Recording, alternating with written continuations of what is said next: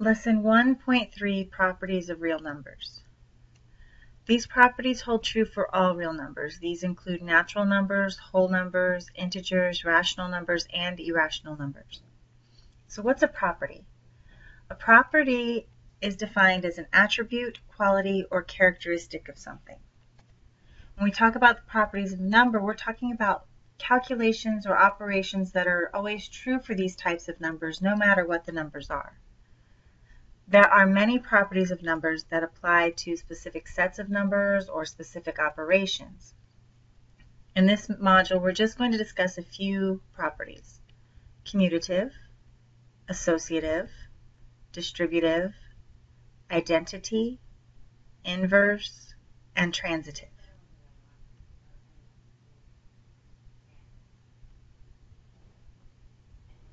The commutative property is a property that says that we can swap numbers around and you still get the same answer when you add or when you multiply. In math, it's expressed as a plus b is equal to b plus a, or a times b is equal to b times a. If I want to add 2 and 3, does it matter if I say 2 plus 3 or if I say 3 plus 2? Or if I want to multiply 2 and 3, does it matter if I say 2 times 3 or 3 times 2? Now, no matter what order we add or multiply two real numbers, we'll always get the same answer. 2 plus 3 is always going to be 5, whether we say 2 plus 3 or 3 plus 2. Likewise, 2 times 3 is always going to be 6, whether it's 2 times 3 or 3 times 2.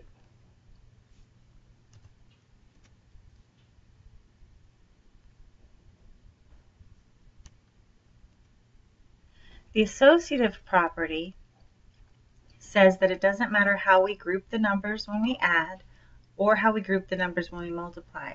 If you think of the word associative, that comes from the word association. An association is a group. It does not negate the order of operations. The associative property deals with addition or multiplication only. Operations don't mix. So if I have only addition, it doesn't matter which groups I do first. Or if I have only multiplication, it doesn't matter which group I do first. In math, we express it as a plus b in parentheses plus c. So this would be a group. Or we can have A and we can add the group B plus C first. No matter how we do this, we're going to get the same answer. Likewise, if I group A and B together with multiplication, so I multiply A and B first and then multiply times C, that doesn't matter. It won't change the order if I or the answer if I say A times B times C and I'd multiplied that first. So if I want to add 3, 5, and 4 together, does it matter which two I add first? Sorry about that. So let's try it. If I have 3 plus 4 plus 5, and I add 3 and 4 together first, or 4 and 5 together first. This is 7 plus 5. This is 3 plus 9 and they both equal 12.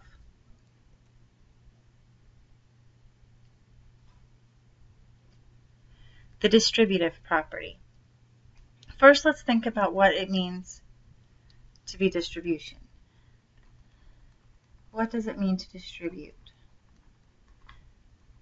If I'm passing out or distributing flyers, I'm going to give a flyer to every single person. So distribute is to pass out evenly or give to something evenly. And the distributive property says that multiplying a number by a group of numbers added together is the same as doing each multiplication separately. So I can have A times B plus C. That's the same thing as A times B plus A times C. It doesn't matter if the operation in parentheses is addition or subtraction, so this could be B minus C. would give me the same result. So for example, 5 times 3 plus 2. Well, if I use the order of operations, I have 5 times 5, which gives me 25. If I use the distributive property, I say 5 times 3, and 5 times 2, and that gives me 15 plus 10, which gives me 25. Same result. There are two properties of identity. If you think about what is an identity, identity is who we are. That doesn't change. Our identity remains the same. That's the same with numbers. We have the additive identity property and the multiplicative identity property. The additive identity is the number that can be added to any number without changing the value. That number is zero. The additive identity property tells us that we can add the additive identity, zero, to any number and it will not change the value or identity of the number. The multiplicative identity is the number that can be multiplied to any number without changing the value. That's number one. And the multiplicative identity property tells us that we can multiply the multiplicative identity, which is 1, to any number and it will not change the value of the number. a times 1 will still be a.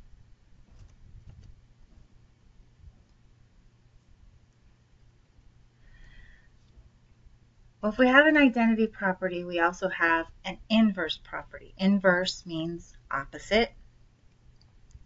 The inverse of a number is the number that will give us the identity when we add or multiply.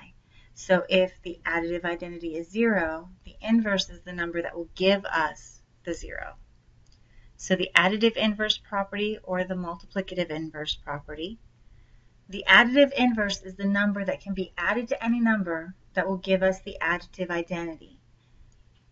This will be the opposite of the number. So an additive inverse, there's not a single additive inverse. With the additive identity, we had zero, and that's the only one. With the additive inverse, it will depend on what number we're working with for us to determine what the inverse of that number is. So if our number is a, the additive inverse is going to be negative a. The additive inverse property tells us that we can add the additive inverse to the number and it will give us 0. So a plus negative a will always equal 0. The multiplicative inverse is the number that can be multiplied to a number that will give us the multiplicative identity, which is going to be a 1. Instead of an opposite, this time we're looking for the reciprocal of the number, so 1 over a. The multiplicative inverse property tells us that we can multiply the multiplicative inverse any number, and it will give us the multiplicative identity. a times 1 over a will equal 1.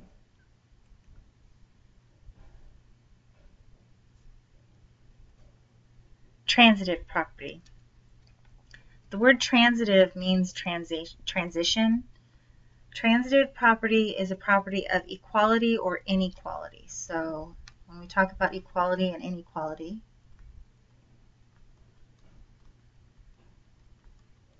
we're using these symbols.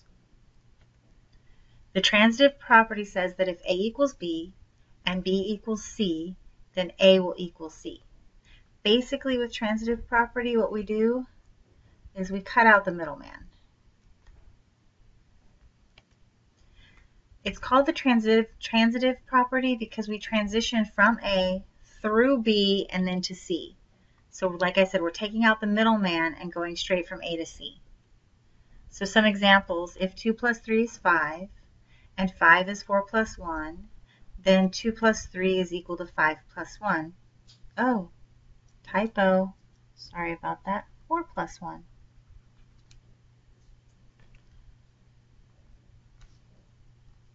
We take out the 5, and we get 2 plus 3 equals 4 plus 1. Likewise with multiplication. 5 times 6 equals 30, and 30 equals 2 times 15. Then 5 times 6 equals 2 times 15. We can take out the 30. Now this will also work with an inequality. If I said something like 2 plus 3 is less than or equal to, right, 3, okay, 2 plus 5 is less than or equal to 8 and 8 is less than or equal to 6 plus 9. Well, I can take out this middle 8, and I get 2 plus 5 is less than or equal to 6 plus 9. That's 7, that's 15, still true.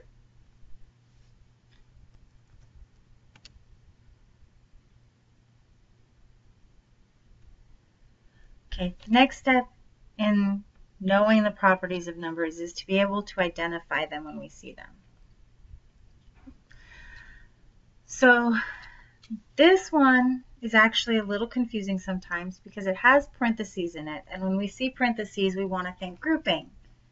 But what you want to look at is what moved. Did the parentheses move and the numbers stayed in the same order or did the numbers change orders? Here I have an 8 plus 5x plus 10 equals 5x plus 10 plus 8. These switched positions, that gives us the commutative property. 5 plus negative 5 equals 0. 0 is our additive identity. 5 and negative 5 are going to be additive inverses. 5 times 4 times 8, in parentheses, this is a group, is equal to 5 times 4, a group, times 8. What we did is we changed the group. That makes it the associative property. 13 plus 11x times z is equal to 13z plus 11xz. So what happened is this z got multiplied by 13 and by 11x. That's the distributive property. 2x plus 5 is equal to 5 plus 2x. What happened here was a switching of places. Anytime we have a switching of places, that's commutative property. 12x times 2 times 5y is equal to 12x times 5y times 2. Again, we switched places, and that gives us not associative property. Typo again, excuse me for that commutative property.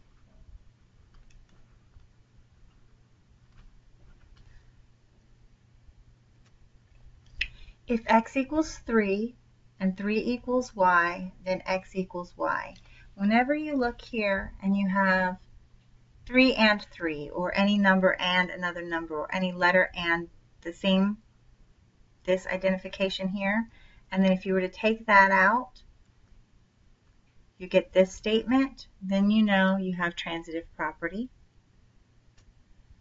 6 times 1 divided by 6 equals 1. This is an inverse, so we have multiplicative inverse. 7 plus 13 plus 21 is equal to 7 plus 13 plus 21. The thing that moved were the parentheses, so associative property. 5 plus 0 equals 5. Additive identity. And the order does not affect a sum. Order. That's when we switch the order around, therefore commutative property.